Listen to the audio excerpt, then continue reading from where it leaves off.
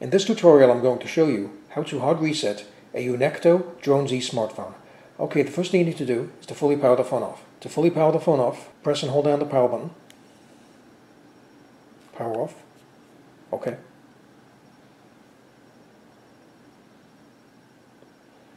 Okay, with the phone fully powered off, you need to press and hold down the power button and the volume up button at the same time.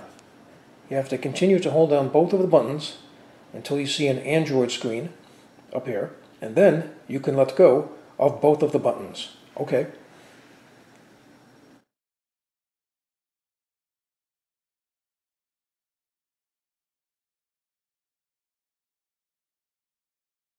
Okay, now you can let go of both of the buttons. Now press the power button. Now using the volume down button, go to Wipe Data Factory Reset.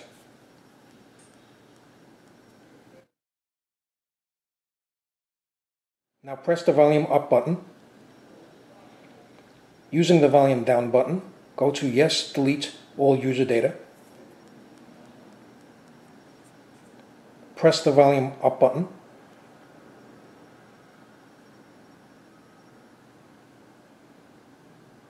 Press the volume up button.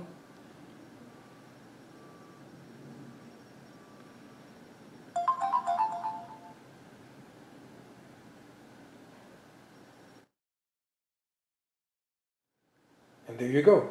The hard reset is now complete. So I hope you found this video useful. If you have, please show your support for this channel by subscribing. Feel free to leave comments. Please like up this video, and thank you for tuning in.